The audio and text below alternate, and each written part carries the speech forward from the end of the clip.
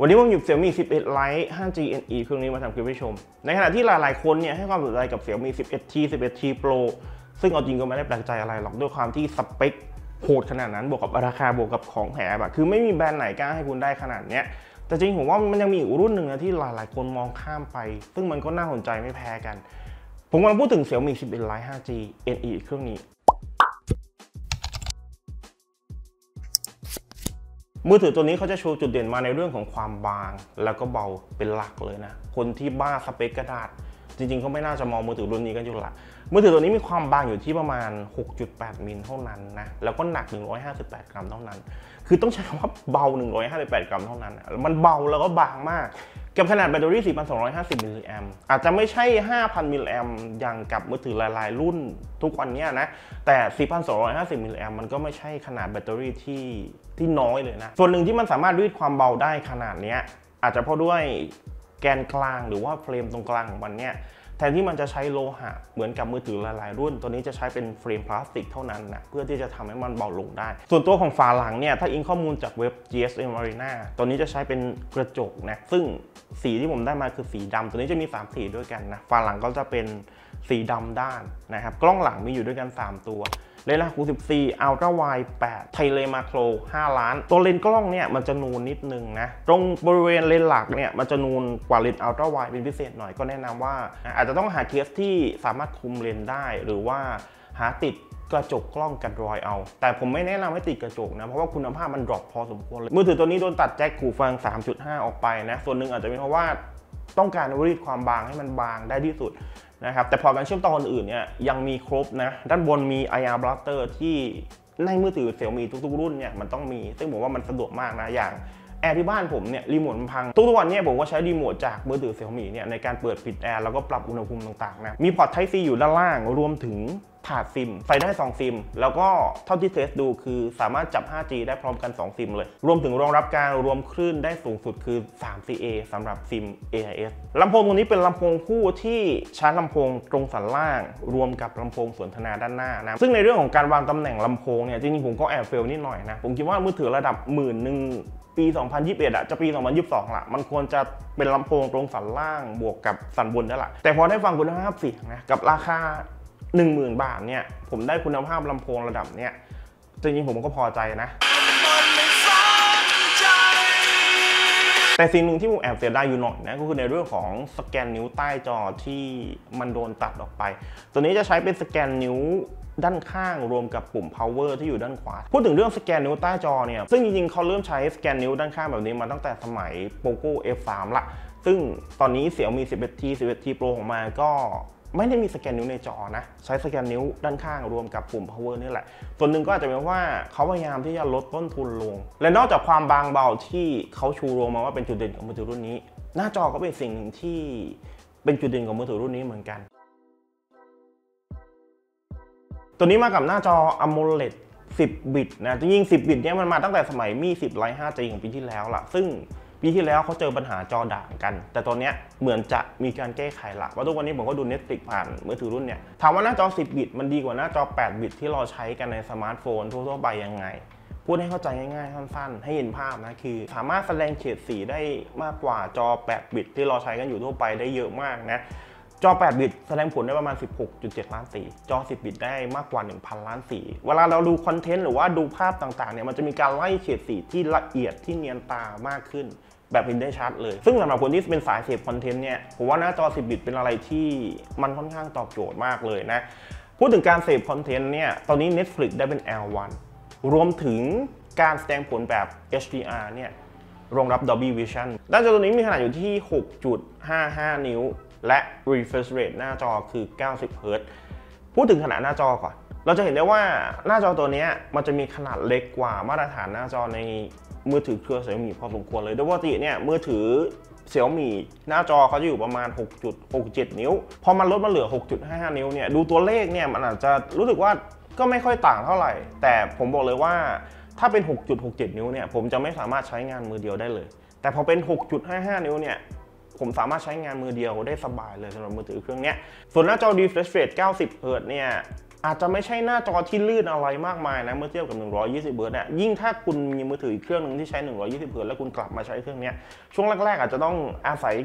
การปรับตัวปรับสายตาพอสมควรเพื่อให้หน้าจอมันลื่นนะแรกๆอาจจะดูกระตุกหน่อยเวลาสลับมาใช้ ซึ่งหน้าจอ refresh rate 90 Hz ของ 1105G ND ตัวนี้ก็ยังคงมีอาการ เฟรมเรทตกให้เห็นบ้างนะเวลาเราใช้งานบางแอป อย่างเวลาเราเข้า YouTube อะไรเนี้ยมันจะไม่ได้บังคับเป็น 90 Hz ทุกแอปนะซึ่งอันนี้มันเป็นปัญหากับ Xiaomi มาประมาณ 2 ปีแล้วที่ผมใช้ Xiaomi ยังไม่ยอมแก้นะหลายๆแบรนด์สามารถบังคับให้90 Hz ได้ทุกแอป แต่สำหรับ MIUI ก็ยังคงมีปัญหานี้อยู่ทุกรุ่นเลยนะที่ผมใช้ทุกรุ่นเลย ซึ่งผมไม่ชอบเลย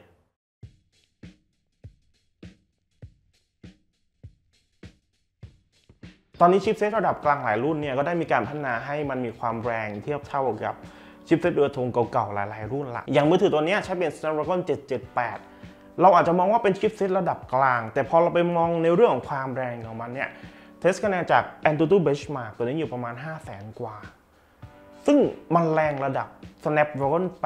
855 plus หรือว่า 860 เลยนะ ซึ่งพอเอาคะแนนมาเทียบกันเนี่ย มันจะเป็นรอง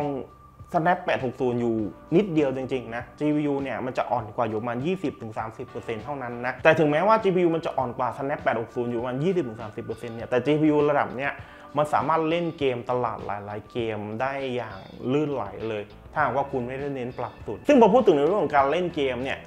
GPU เล่นเกมได้ไหวอยู่แหละถ้าคุณเน้นปรับกลางๆ แต่สิ่งหนึ่งที่ผมไม่คิดว่าผมจะเจอในมือถือราคาหมื่นกว่าบาทเลยคือ เกมตลาดเจ้าปัญหาอย่าง RV ที่มันไม่สามารถปรับ60 fps ได้อะซึ่งมันไม่ควรจะเจอกับมือถือระดับนี้วะ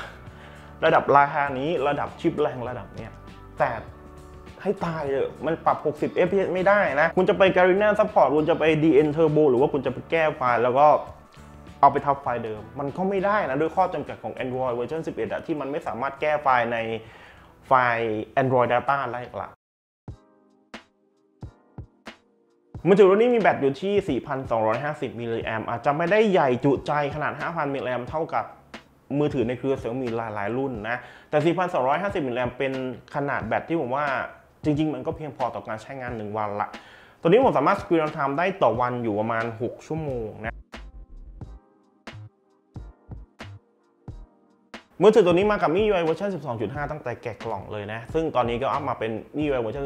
12.5.6 ละ based on Android เวอร์ชัน11นะมีอยู่ฟีเจอร์หนึ่งที่มันเพิ่มเข้ามาจากรุ่นก่อนๆก็คือ memory extension หรือว่าการเพิ่มแรมซึ่งมือถือตัวนี้คือ RAM 6 ROM 128 สามารถเพิ่มได้2กิกนะ ซึ่งการเพิ่มแรมลักษณะนี้มันจะไม่ได้ไปเพิ่มในแรมหลักนะ ไม่ใช่ว่าแรม6กิกแล้วจะไปเพิ่มเป็น8กิกนะ แรมหลักเนี่ย ก็ยังคงเป็น6กิกเหมือนเดิมแต่2กิกที่เพิ่มเข้าไปเนี่ยมันจะไปเพิ่มในส่วนของ Z RAM แทนพูดให้เข้าใจง่าย ๆ คือ ถ้าสมมติว่าแรมหลักมันไม่พอเนี่ยมันจะเอาแรมตรงเนี้ยเข้าไปช่วยอีกทีหนึ่ง ส่วนฟีเจอร์อื่นๆก็ยังมีเหมือนเดิมนะ มีเหมือนเดิมทุกอย่างเลยโคลนแอปเอยโคลนได้ทุกแอป Second Space การโหลดฟอนต์การเปลี่ยนธีมต่างๆ หรือว่าจะเป็นเกม Turbo ก็มีมาครบเหมือนกับ MIUI เวอร์ชัน12 ที่อยู่ในมือถือรุ่นอื่นแหละ ก็คงไม่ต้องพูดอะไรมาก เรารู้กันอยู่แล้วแหละช่องเรารีวิว Xiaomi เยอะมากนะอะนี่คือในเรื่องของซอฟต์แวร์นะ ผมใช้มาเกือบ 1 เดือนเต็มละ นอกจากจะเจอ refresh rate จอตกเองในบางแอปอย่างเข้า YouTube แล้วเหลือ 60 เฮิร์ตเงี้ย พวกบั๊กอื่นๆ อะไรนี้ผมยังไม่เจอเลยนะ ผมว่ามันเป็นรอมที่เสถียรมากเลย แล้วก็ลื่นมากด้วยนะ เทียบ Poco X3 Pro ที่ชิปเซตมันแอบแรงกว่าหน่อยนะ รอมมันลื่นกับ Poco X3 Pro อีกการเข้าออกแอปอะไรมันมันดูไวกว่าอีกถึงแม้ว่าตัวนี้มันจะเป็น UFS 2.2 เท่านั้นนะ Test Speed อ่านเขียนกับ Andro Bench Sequential Read อยู่ประมาณเกือบเกือบพัน ซึ่ง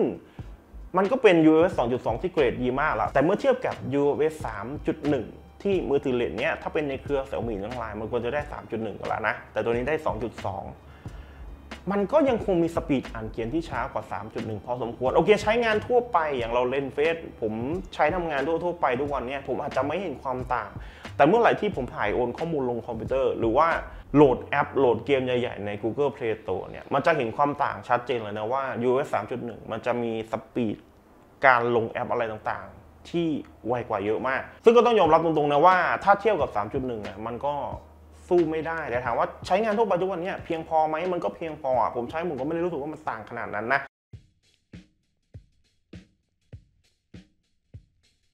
ส่วนกล้องถ่ายรูปนะเลนส์หลัก 64 Ultra Wide 8 Tele Macro 5ล้าน พูดถึงซอฟต์แวร์กล้องก่อน ซอฟต์แวร์กล้องจัดมาให้ครบสมกับเป็นมือถือระดับหลักหมื่น ฟีเจอร์ต่างๆ ที่อยู่ในตัวท็อปๆของ Xiaomi ใส่มาให้หมดนะ ในโหมดที่สามารถถ่ายได้ทั้งเลนส์หลัก แล้วก็เลนส์ Ultra Wide โหมด Portrait ที่สามารถปรับค่า f ได้ทั้งก่อนถ่าย แล้วก็หลังถ่ายนะใช้โหมด Beauty รวมได้แต่โหมด Beauty ก็ไม่สามารถปรับแยกได้ อย่างพวกโหมด Rock Mode Time Lapse Movie Effect Long Exposure Duo Video หรือว่าโหมดโคลนเนี่ย ใส่มาให้หมดนะสมกับเป็นมือถือราคา 1 0,000ของเขาแหละ ส่วนโหมดโปรก็สามารถถ่ายได้ทุกเลนส์นะ เลนส์หลักลาก speed shutter ได้ 30 วิ Ultra Wide 30 วิ Macro 20 วิ แล้วก็ถ่ายไฟล์ RAW ได้ทุกเลนส์ทีนี้มาดูที่คุณภาพของรูปภาพของตัวนี้กันนะครับ อยากให้ดูที่เซนเซอร์ของมันก่อน เซนเซอร์หลักของตัวนี้ 64 ล้าน Samsung ISOCELL GW3 GW3 ไม่ใช่เซนเซอร์ที่อยู่ในกลุ่มระดับตัวท็อปๆนะ มันจะเป็นเซนเซอร์ที่อยู่ระดับกลางๆ แค่นั้นเองนะ Redmi Note 10s เครื่องราคา 7,000 ก็ใช้เซนเซอร์ตัวนี้นะ เพราะฉะนั้นเซนเซอร์ตัวนี้อาจจะไม่ใช่เซนเซอร์กล้องที่ดีสักเท่าไหร่นะ คุณภาพของกล้องถ่ายรูปตัวนี้ส่วนตัวผมค่อนข้างแอบผิดหวังนิดหน่อยนะ ผมว่า ซอฟต์แวร์กล้องมันไม่ฉลาดเท่าไหร่ คือซอฟต์แวร์กล้องระดับเนี้ยไม่ควรจะมาอยู่ในมือถือราคาเนี้ย เอาจริงนะ หลาย ๆ ครั้งที่ผมยกถ่ายเนี่ย AI มันเหมือนจะไม่ค่อยทำงานนะ ผมต้อง pan ซ้าย pan ขวา แล้วบางทีคือแบบผมต้องปิด AI เปิดใหม่ ซึ่งหลาย ๆ ครั้งที่ผมถ่ายมา ผมรู้ว่า มันมันไม่ควรจะมาเจอในมือถือ range เนี่ยผมพูดจริงนะในเรื่องของซอฟต์แวร์กล้อง แต่พูดถึงในเรื่องของการเก็บรายละเอียดเก็บ detail อะไรต่างๆ คือมันก็ทำได้ดีสมราคาของมันแหละ แล้วก็โหมด Portrait เนี่ยการตัดขอบอะไรต่างๆ มันก็ไม่สมกับราคาของมันเลยนะเอาจริงนะเรื่องของกล้องผมว่าไม่ค่อยโอเคเท่าไหร่นะถ้าถามผมอะคือถ้าถ่ายคนอะผมว่ามันยังพอโอเคอยู่นะอย่างผมถ่ายร้านเนี่ยเออมันก็ตัดขอบโอเคอยู่แต่ถ้าซูมไปดูอาจจะรู้สึกว่าก็ไม่ค่อยเนียนเท่าไหร่ แต่อย่างผมถ่ายถ่ายวัตถุอื่นๆถ่ายแก้วกาแฟถ่าย มอไซค์อะไรเงี้ยมันตัดขอบได้ผมบอกเลยนะว่า มือถือ 6,000 7,000 บางตัว ตัดขอบได้ดีกว่านี้ที่ผมเคยใช้อะเลนส์ Ultra Wide เนี่ยถ้าหากว่าเราถ่ายเทียบกับเลนส์หลักมุมเดียวกันออกมาสัก 10 ภาพเนี่ย9ภาพเนี่ยมันจะเห็นเลยว่าเลนส์ Ultra Wide มีภาพที่มืดกว่าเลนส์หลักเยอะมากนะ เลนส์หลักว่า AI ไม่ค่อยฉลาดแล้วนะ มาเลนส์ Ultra Wide เนี่ย ยิ่งไม่ค่อยฉลาดเข้าไปใหญ่เลย ซึ่งผมว่าเลนส์ Ultra Wide ยังยังต่ำกว่ามาตรฐานอยู่พอสมควรนะส่วนเลนส์ Tele Macro 5 ล้าน อันนี้ผมไม่มีอะไรจะติจริง ๆ นะ เป็นเลนส์ Macroที่สามารถถ่ายได้ใกล้มากนะ และอีกอย่างหนึ่งคือมันมี auto focus ด้วย สามารถถ่ายได้ทุกระยะนะ ถ่ายระยะไหนก็ชัดไปหมดทุกระยะโฟกัสอะไรคือไวคือแม่นมากนะ เลนส์ Tele Macro เนี่ยอย่างที่บอกว่าผมไม่มีอะไรจะติ มันทำได้ดีสมค่าตัวของมันมากๆละส่วนกล้องหน้าตัวนี้ 20 ล้านนะครับ กล้องหน้าเป็นอะไรที่ ผมรู้สึกสวนทางกับกล้องหลังมาก คือผมชอบกล้องหน้ามากนะ กล้องหน้าเลนส์มุมกว้างกว่า Xiaomi หลาย ๆ รุ่นมากนะ กว้างสำหรับคนถ่ายคนอ้วนคนหนึ่งแล้วรู้สึกว่าเออหน้าเราไม่บานเต็มจอนะแล้วก็ skin tone กล้องหน้าเป็นสิ่งที่ผมชอบมาก ปกติผมจะไม่ค่อยชอบกล้องหน้าในมือถือพวก Xiaomi ต่าง ๆ เลยนะ ผมว่ามันถ่ายออกมาแล้วหน้ามันคล้ำ กว่าตัวจริงค่อนข้างเยอะนะ แต่กล้องหน้าตัวนี้ skin tone มันจะออกทาง realme ทาง vivo หน่อยละคือถ่ายออกมาแล้วสีผิวมันดูสว่างนะมันจะดูไม่คล้ำไม่ตากแดด ถึงแม้ว่าคุณจะตากแดดมาก็ตาม แต่ถ่ายออกมาแล้วหน้าคุณไม่คล้ำหน้าดูสว่างสดใสมาก กล้องหน้ามีโหมด beauty ที่สามารถปรับได้ละเอียดกว่าเดิมค่อนข้างเยอะนะแต่ก่อนโหมด beauty เราจะสามารถแยกปรับได้ประมาณ 3 แบบ 4 แบบ แต่ตอนนี้สามารถแยกปรับได้ 8 แบบนะครับนอกจากโหมด Beauty ที่สามารถปรับได้เยอะขึ้นแล้วเนี่ยยังมีโหมด Makeup เพิ่มเข้ามาอีกนะครับรวมถึงฟิลตรงฟิลเตอร์ต่างๆ ก็ยังคงมีให้เล่นเหมือนเดิมนะโดยรวมกล้องหน้าเนี่ยเต็ม 10สำหรับเลทราคาเนี้ยผมว่าผมให้ 9 9.5เลยนะจริงผมว่ากล้องหน้าดีมาก ซึ่งมันสวนทางกับกล้องหลังมากนะ อะทีนี้มาดูที่งานวิดีโอกัน วิดีโอตัวนี้กล้องหลังเนี่ยมันถ่ายได้ที่ 4K 30 เฟรม per sec 4K 30 เฟรม per sec มันเป็นอะไรที่ชิปเซตระดับ Snap 778 เนี่ยมันควรจะแบกการถ่ายระดับนี้ได้ไหวอยู่แล้ว แต่ในการใช้งานจริงในการถ่ายจริง มันกลายเป็นว่าชิปเซตตัวนี้มันแบกไม่ไหวนะ คือระหว่างถ่ายเนี่ยคือตุกกระตุกยับเลยคือแบบ อันนี้ไม่น่าจะใช้ชิปเซตนะ น่าจะเพราะว่า ROM ของ Xiaomi ยัง น่าจะ optimize ไม่ดีเท่าไหร่นะ ซึ่งเท่าที่ลองถ่ายวิดีโอดูเนี่ย ส่วนตัวผมชอบ 1080p 60 frame per sec มากสุดหละผมว่ามันเอาไปใช้งานจริงได้นะ แต่จังหวะที่เรา pan กล้องเนี่ย มันก็จะมี frame rate ร่วง frame rate ตกให้เราเห็นเหมือนกัน แต่ภาพรวมผมว่า ผมพอใจกับ 1080p 60 frame per sec ของมี1100 5G อันเครื่องนี้นะอัลตร้าไวถ่ายได้ 1080p 30 frame per sec เท่านั้นแหละถ่าย 4K ไม่ได้ ในกล้องนี้จะเห็นว่ากันสั่นนิ่งกริบเลย นิ่งกว่าเลนส์หลักแบบชัดเจนนะ ถ้าดูในกล้องนะ แต่เลนส์ Ultra Wide เนี่ย มันจะไม่มี auto focus นะครับเพราะฉะนั้นถ้าเราโฟกัสอะไรใกล้ๆเนี่ย มันจะโฟกัสไม่ได้เลย มันจะเบลอไปหมดเลยนะครับอย่างที่เห็นเนี่ย ส่วนอันนี้เป็นกันสั่นพิเศษนะครับกันสั่นพิเศษคือมันใช้เลนส์หลักนี่แหละถ่าย แต่ว่าจะมีการครอปวิดีโอเข้าไปอีกเพื่อทำการสั่นพิเศษให้มันให้มันนิ่งขึ้นนั่นเองนะครับซึ่ง ถ้าแผ่นกล้องเนี่ยผมว่า มันมันแอบดูดูดูดูสโลหน่อยนะ ถ้าแผนกล้องเร็วๆเนี่ย แต่ว่าพูดถึงในเรื่องของการสั่นก็อยู่ในเกณฑ์ที่ที่นิ่งอ่านิ่งกว่าเดิมนะครับ แล้วก็ในเรื่องของการโฟกัสเนี่ยก็ก็ไม่ได้ต่างจากเดิมมากนะครับ ก็ยังคงโฟกัสนิ่มแบบ 1080p 60 frame per sec นะครับ ตัวนี้เราบอกเลยว่า พอเป็นกันสั่นพิเศษเนี่ยจะถ่ายได้ที่ 1080p 30 เฟรม per sec เท่านั้นนะครับส่วนวิดีโอกล้องหน้าเนี่ยตอนนี้ถ่ายได้ที่ 1080p 60 frame per sec นะถ่าย 4K ไม่ได้ 1080p 60 เฟรม per sec เนี่ยมุมมองจะกว้างมากนะแต่พอถ่ายเป็น 30 เฟรม per sec เนี่ยมันจะcrop เพื่อทำกันสั่นให้เราโดยอัตโนมัติ 1080p 30 frame per sec เนี่ยผมว่า frame rate มันค่อนข้างที่จะกระตุกอยู่พอสมควรนะ โดยส่วนตัวถ้าต้องเลือกถ่ายวิดีโอกล้องหน้า ผมถ่ายเป็น 1080p 60 frame per sec ผมว่าวิดีโอมันดู smooth ดูคมดูชัดกว่าเยอะเลย มันดูไม่กระตุกอะอะแล้วนี่คือ Xiaomi 11 Lite 5G NE นะ เอามาทำคลิปรีวิวให้ชมให้ฟังกันเหมือนเดิมนะ ซื้อเองใช้เองรีวิวเองเหมือนเดิม